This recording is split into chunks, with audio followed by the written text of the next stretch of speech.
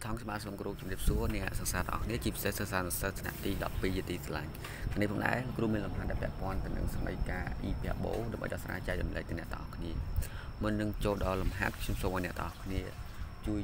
បាទចុច like ចុច subscribe ឬដាក់រូបកណ្ដឹងដើម្បីទទួលបាននូវលំហាត់ពាក់ព័ន្ធទៅនឹងគណិតវិទ្យាថ្មីៗពី channel របស់ខ្ញុំបាទបាទអញ្ចឹងយើងមើលលំហាត់នេះទាំងអស់គ្នាបាទលំហាត់លេខ3គឺគេឲ្យរកផ្ចិតកម្ពូលគំនុំ eccentricity និងសមីការ asymptote របស់ e ពាក់បូបាទ កគឺ 16x ការ៉េដក 4y ការ៉េស្មើនឹង64ខ 4x ការ៉េដក y ការ៉េស្មើនឹង4បាទអញ្ចឹងតោះឥឡូវយើងមើលរបៀបនៃការដោះស្រាយជាមួយនឹងច្បាប់ដូចតទៅហើយបញ្ជាក់ផងដែរថាខ្ញុំធ្វើតែកទេទុកខអ្នកទាំងអស់គ្នាធ្វើដល់ខ្លួនឯងបាទអញ្ចឹងខ្ញុំធ្វើអក្សរកមួយជាគំរូទៅអ្នកទាំងអស់គ្នាបាទអញ្ចឹងរបៀបនៃការសរសេរចម្លើយគឺដំបូងគឺយើងត្រូវសរសេរបាទសំណួរគេមកវិញមកហើយសរសេរប្រធាននេះបាទអញ្ចឹង ទោះអត់សេះហើយគឺយើងអាចសរសេរមកថាគេមានបាទគេមានសម័យការទូទៅនៃអ៊ីប៉ាបូរបស់យើងគឺ16 x ការ៉េដល់ឲ្យ4 y ការ៉េស្មើនឹង60 64អញ្ចឹងយើងត្រូវបំលែងសម័យការទូទៅនៃអ៊ីប៉ាបូមួយនេះឲ្យចូលជាទម្រង់ស្តង់ដារនៃសម័យការអ៊ីប៉ាបូជាមុនសិនអញ្ចឹងយើងត្រូវចែកបាទនឹងបាទអង្គទាំងពីរនឹង64អញ្ចឹងយើងអាចសរសេរបាន16 x ការ៉េចែកឲ្យ64ដកឲ្យ4 y ការ៉េ ចែកឲ្យ64ស្មើនឹង64ចែកឲ្យ60 64បាទអញ្ចឹង16នៅលើ64គឺយើងអាចសម្រួលនឹង16មកគឺគេបាន x ការ៉េនៅលើសម្រួលទៅគឺគេបានបាទ4បាទដកឲ្យ4កន្លែងនេះគឺយើងសម្រួលនឹងបាទសម្រួលនឹង4ដែរអញ្ចឹងសល់ y ការ៉េចែកឲ្យ16បាទស្មើនឹង64ចែក64គឺស្មើស្មើ1អញ្ចឹងយើងអាចសរសេរបានបាទ x ដកឲ្យ0អូការ៉េអញ្ចឹង4គឺយើងអាចសរសេរបាន2ការ2ការ៉េបាទ2ការ៉េដកឲ្យបាទ y ដកឲ្យ0អូការ៉េនៅលើ16គឺយើងអាចសរសេរបាន4ការការ៉េ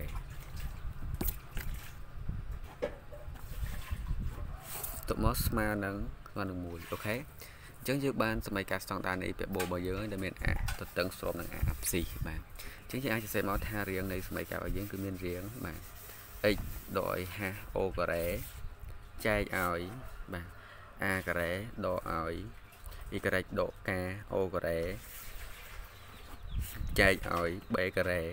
ស្មើស្មើ1អញ្ចឹងដល់ធៀបជាមួយនឹងសមីការស្តង់ដារនឹងនាំឲ្យគេទាញបានបាទនាំឲ្យបាទហាការស្មើនឹងស្មើនឹង0បាទ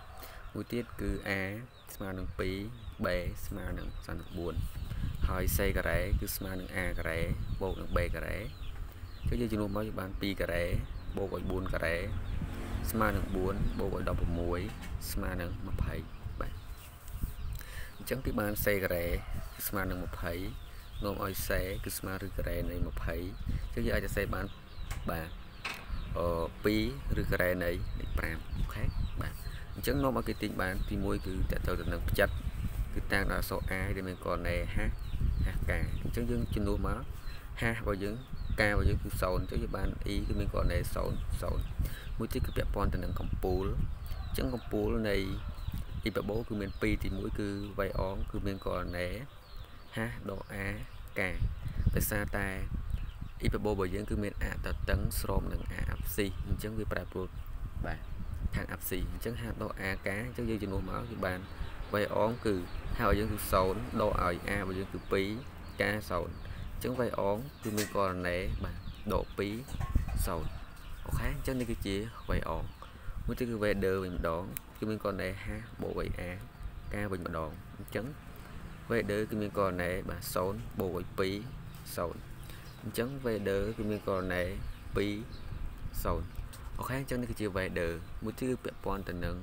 កំណុំបាទ អញ្ចឹងកំណុំគេតាំងដៃ F បាទអញ្ចឹង F គឺមាន2ដៃគឺ F អងគឺមានករណីហាស់ដកឲ្យបាទដកឲ្យសេកាបាទអញ្ចឹងយើងជំនួសមក F អងគឺបានបាទ0ដកឲ្យ2ឬការ៉េនៃ5ដោយសារតែសេរបស់យើងគឺឬ2ឬការ៉េនៃ5ទៅមក0បាទអញ្ចឹង F អងគឺមានករណីបាទដក2គុណឬការ៉េនៃ5 0អូខេ អញ្ចឹងនេះគឺជា F អងបាទមួយទៀតគឺ F ដឺវិញម្ដងគឺមានករណីហាបូកឲ្យសេកាវិញម្ដងបាទអញ្ចឹង S ដឺគឺមានករណីបាទ0បូកឲ្យ2ឬការ៉េនៃ5 0អញ្ចឹងបាទ f ស្ទើគឺមានកូនណេ2គុណឬការ៉េនៃ5 0បាទ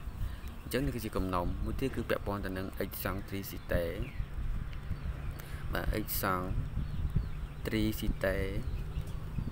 អញ្ចឹង x សង់3ស៊ីតេនៃ e ពាក់បូគឺបាទតាំងដោយអក្សរ e អញ្ចឹង e គឺស្មើនឹង c លើលើ a អញ្ចឹង c គឺស្មើនឹង2ឬការ៉េនៃ5រីឯ a គឺគឺ2អញ្ចឹង2និង2គឺចែកបានអញ្ចឹងនឹងសល់ឬការ៉េនៃនៃ5អញ្ចឹងឬការ៉េនៃ5គឺជា eccentricity នៃ hyperbole អញ្ចឹងយើងចូលដល់មួយទីគឺពាក់ព័ន្ធទៅនឹង asymptote តើតើទៅនឹង asymptote ក៏មាន2ដែរបាទតោះឥឡូវយើងតាមដានបងប្អូនគ្នាបាទអញ្ចឹង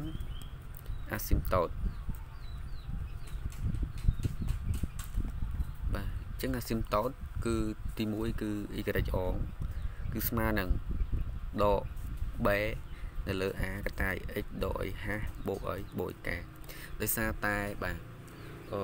y ប្រាប់បូករបស់យើងមានអត្តតឹងស្របនឹង a អាប់ស៊ីអញ្ចឹងវាដក b នៅលើ a បាទតោះឥឡូវយើងចំនួនតម្លៃចូលមកគឺបានដក b របស់យើងគឺ4 a របស់យើងគឺ2បាទ កតាយ x ដក y 0បូក y បូក0អញ្ចឹងគឺបាន y អងគឺស្មើនឹង